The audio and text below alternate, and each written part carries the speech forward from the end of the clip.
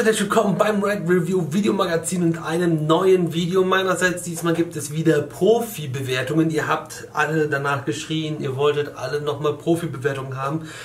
Jetzt gibt es eine kleine Special-Folge Profi-Bewertungen Special Red Review. Und äh, ich habe aber jetzt keine von den Bewertungen von Facebook genommen. Ihr könnt übrigens äh, neuerdings Red Review auf Facebook bewerten oder äh, komplett ausgeklammert sind auch Kommentare unter YouTube-Videos, die sind auch gar nicht dabei. Aber ich habe so drei Dinger, die sind so geil, die muss ich eigentlich mit euch teilen. Zweimal per E-Mail, einmal per PN auf Facebook und es ist...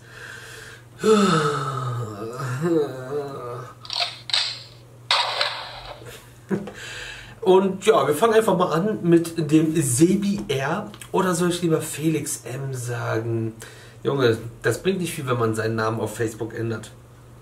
Der hat mich auf jeden Fall angeschrieben per Messenger auf meinem privaten Profil.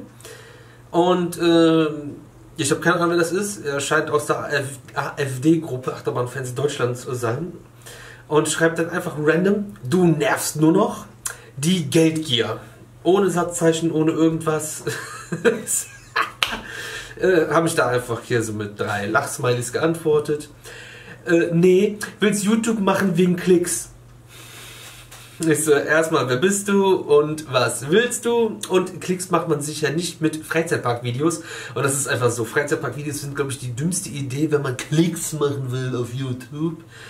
Das ist ein absolutes Nischending, absolut äh, underrated. So, da würde ich irgendwelche Challenges oder Pranks oder sonst was machen, wenn ich irgendwie auf Klicks aus wäre. Äh, so ein Schwachsinn einfach. Dann, äh, das sagt jeder. Du machst es nicht aus Spaß. Der Plan ist das Geld, mein Guter. also wenn das keinen Spaß machen würde, dann würde ich nicht jeden Tag ein aufwendiges Video hier droppen. Das ist einfach mal Fakt. Aber so Leute wie der sind der Knaller. Das ist, ey. Das geht nicht in meinen Kopf rein. Weißt du, wie kann, der, der meint das ja ernst.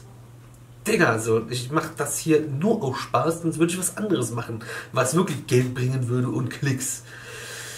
Äh, dann habe ich noch geschrieben, hör mal, mein Freund, wenn man keine Ahnung hat, einfach mal die Fresse halten. Und werd mal nicht frech, ich war auch freundlich und nicht so frech. Dann habe ich noch geschrieben, ich kenne dich nicht, und du schreibst mich an und erzählst Lügen über mich, dafür bin ich noch zu nett, Freundchen. Und darauf kam nichts mehr. Dann war es das leider schon wieder. Das ist sehr traurig. Das Profil gibt es noch, aber er hat auch das nicht gelesen. Er sieht auch aus wie ein Popkaninchen. Und so sieht ziemlich ranzig aus, der Dude. äh, hier Anti-Illuminati-Titelbild irgendwie auf der Seite und sowas war oder beruflich Moderator bei Hinter den Kulissen der Macht.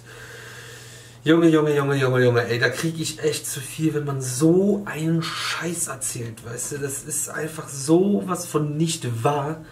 Sowas regt mich auf, auch wenn man da einen Fick drauf geben sollte. Dann hatte ich einen per E-Mail, der war auf jeden Fall auch super geil.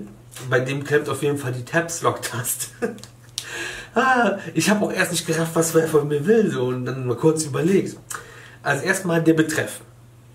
Empörte Sauerei vom Holiday Park. Alles im äh, alles Großbuchstaben außer vom, das ist klein geschrieben. Also ganz kaputt ist die Taste scheinbar noch nicht. Und so, was kommt denn jetzt? Jetzt jetzt aber ab hier. Hallo. Nur weil so groß erwähnt, eine Trillion Ausrufezeichen, also alles groß geschrieben, außer Hallo, das ist ganz normal geschrieben. Äh, ich finde es schon hammerhaft, dass man vor zwei Jahren bei dem tödlichen Punkt kann man das nicht ausschreiben? Unfall mit dem Mädchen beim Fahrgeschäft Spending Barrels einfach den Holiday Park weitergelaufen gelaufen lassen hat. Fragezeichen. Also was denn jetzt? Findest du das, wie du anfängst, oder ist das eine Frage? Und vor allem, soweit ich das weiß, war der Park äh, danach geschlossen erstmal für ein paar Tage. Als wäre nichts passiert. Äh, da habt ihr wohl Spaß im Park und irgendwo stirbt ein Mädchen echt makaber vom Hollywood-Park. Ob man jetzt Geld verliert oder nicht, das spielt hier keine Rolle. so ein Idiot, ey. Ich hätte ein Stark zugemacht. Der hat auch zu viele Ausrufezeichen über. Wie los? Und empathilos kann man nur sein. Äh, was für die Mutter schon schlimm genug äh, war für die Mutter schon schlimm genug anzusehen. Das jetzt so! Und dann der Name. Äh, da habe ich ihm nur zurückgeschrieben, äh, hallo, klemmt ihr die Capstop-Taste? Äh, erstmal habe ich, äh, was habe ich mit dem Holiday Park, äh, Holiday Park zu tun? Und zum anderen war, soweit ich weiß, danach der Park für mehrere Tage geschlossen, aber warum zwei Jahre später jetzt diese Mail? Sorry, war bloß eine Anmerkung, Ansicht, wenn man sowas liest. Okay, mein Gott. was? Äh, habe ich ihm geschrieben, ja, und was hat mich mit damit an der Mütze? So, das ist ja mal absolut random nicht, nicht mein Problem so oder mein Thema. Dann, sorry, Entschuldigung, deine E-Mail stand nur da. äh, äh, dann ist so, wo stand meine E-Mail? Und dann bei einem Video hier.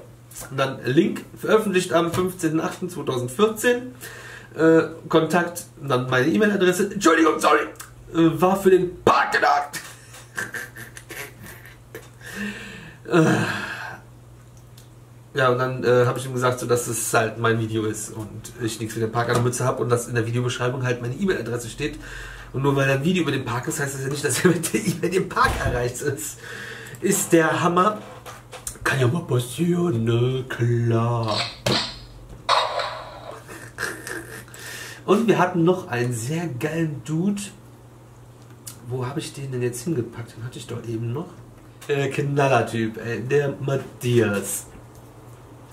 Liebe Mitarbeiter dieser Firma, ich habe soeben im Internet Ihre Bewertung zu den oben genannten Park über YouTube gefunden und finde es unerträglich, wie Sie sich anmaßen, eine solche negative Darstellung ohne Hirn abzugeben. Äh, man kann sich übrigens schon denken, wahrscheinlich um welchen Park es geht. Bevor man sich äußert, sollte man das Genannte einschalten. Wieder unendlich viele Ausrufezeichen. Das, das macht immer die Aussage sinnvoller und intelligenter, finde ich. Das passiert auch weiter in dieser E-Mail. Dass die angestellten Showtalente alle Shows bedienen, ist in der Tatsache begründet, dass niemand bereit wäre, 80 Euro als Eintritt zu bezahlen. Also ich kenne sehr viele Parks, die viel weniger als 80 Euro Eintritt nehmen und haben in jeder Show anderes Personal. Das ist ja auch nicht schlimm, dass eine Crew alle Shows im Park macht. Das ist aber schlimm, wenn in diesem Park diese Leute keine der drei Shows, die sie bespielen, beherrschen und zusammen mit dem Publikum von Showset zu Showset laufen, weil die Shows nacheinander laufen an verschiedenen Punkten im Park und dabei sich umziehen und auch noch rauchend durch den Park neben den Kindern laufen. Des Weiteren war die Zaubershow richtig klasse. Sehe ich halt anders. Es sind alles nur Menschen. Ja, natürlich sind es nur Menschen, aber das sind Menschen, die keine Shows spielen sollten. Das, ich kann es auch nicht und deswegen mache ich es auch nicht. Wenn Sie einen Tag erwischt hatten, in der die Show nicht so klasse war, tut mir dies leid. Aber dennoch gibt es ihnen nicht das Recht, die Sache zu zerreißen. Ich habe auch nichts zerrissen. Und ja, genau das ist es nämlich. Es ist immer, was wir machen, wenn wir einen Park besuchen, eine Momentaufnahme. Von dem Moment, wo wir da sind. Und dann kommen immer Leute, die waren irgendwann anders mal. Dann ist wir gar nicht so. Ja, weil du nicht da warst, als wir da waren. Honk. Ähm die Angestellten geben ihr Bestes. Ja, das Beste ist scheinbar nicht gut genug. Ich wünsche Ihnen, Sie kämen mal in die Situation und müssten einen solchen Park gestalten. Ja, gerne. Vielleicht können Sie sich mal auf der Playstation oder so ein Parkbauübungsspiel spielen, was schon nicht ganz realistisch ist, aber ein, vielleicht ein wenig für die Arbeit, die dahinter steckt, sensibilisiert. Das ist richtig. Ich habe absolut gar keine Ahnung, was für eine Arbeit hinter einem Freizeitpark steckt. Hashtag guckt das Video, aka Right Review Backstage Reportagen. Arschloch.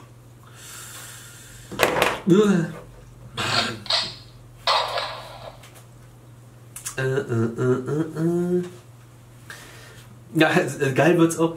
Mittlerweile habe ich mich wieder etwas beruhigt, sonst hätte ich schon von rechtlichen Schritten gegen sie einzuleiten. Ich bin der Decke vom Stift weg. Oh, ich finde das so geil. Ich würde gerne da irgendwie Post von der Staatsanwaltschaft kriegen. ja, das wäre so behindert, Junge. Vor allem hat der gleiche Park, der das auch gesehen hat, was wir alles gemacht haben, uns danach nochmal eingeladen. Äh, damit ein solcher Mist aus dem Netz verschwindet. Vor allem so Meinungsfreiheit, dies, das. Aber wenn Sie ja ein wenig einsichtig sind, können Sie meine Kritik nachvollziehen und dementsprechend handeln. Ja, ich rede doch mit den Leuten drüber, dass. das Video bleibt sowas von online. So, weiter geht's. Was sie dann machen, ist rufschädigend und stellt das. Äh, äh, anstelle des Parkleiters würde ich sie verklagen. Man darf Kritik üben, aber die sollte dann sachlich sein und niemanden angreifen. Meine Kritik war sachlich. Digga, ey, was ist denn los? Also jeder kann sich den Parkcheck auch gerne nochmal angucken. Oder auch unser äh, Reportage zu dem Halloween-Event da. Ich hoffe, ich bewirke ein Umdenken bei Ihnen, dass Sie in Zukunft objektiver bewerten können. Ich bin der objektivste Mensch der fucking Welt, du. Mann! Für die Zukunft wünsche ich Ihnen, dass Sie lernen, wie man konstruktive Kritik übt und dazu auch sein Hirn benutzt. Mit freundlichen Grüßen. Bla. Mann! Was ein Idiot, ey. Hammerhart, äh, wer es nicht gerafft hat, es geht um die Bewertung Safari Park Schloss Holte Stuckenbruck. Tja, da kann sich jeder sein. Ich habe es auch im Parkcheck gesagt, jeder kann da gerne selber hinfahren, sich sein eigenes Bild vom Park machen und äh, sollte natürlich nicht das einfach nur glauben, was ich sage, aber das ist halt einfach meine Meinung. Danach waren noch andere Leute da und haben das Gleiche gesagt und es waren andere Leute davor da und haben das Gleiche gesagt. Der Park ist halt einfach nicht geil. Und wir haben auch vor Ort mit der Pressesprecherin äh, reden wollen und dann ein paar Sachen irgendwie hinterfragen und warum und weshalb und dass wir das halt nicht gut finden, das wollte ich nicht hören. Die Dauerantwort ist ja eh auf jede Frage gewesen, ja gucken Sie in die Pressemitteilung. Bei, nicht nur bei uns, sondern auch bei der Zeitung, die da war, alles. Ja, da kann ich auch nichts machen. Ich habe das Gespräch gesucht, die nicht. Ich habe meine Meinung gesagt. Gut ist, ich fahre da nicht mehr hin. Hat sich die Sache der Park ist für mich halt. ja, das waren äh, drei Profi-Bewertungen-Special Ride Review. Es wird eventuell hier und da dann nochmal eine geben mit einem Freizeitpark, weil ihr so geil darauf seid, ihr Verrückten. Und ansonsten war es das jetzt erstmal von mir an dieser Stelle. Ich bin raus. Ihr seid die coolsten. Abonniert jetzt diesen Kanal, um nichts mehr zu verpassen. Und morgen um 18 Uhr gibt es wieder ein neues Video hier bei Red Review. Push.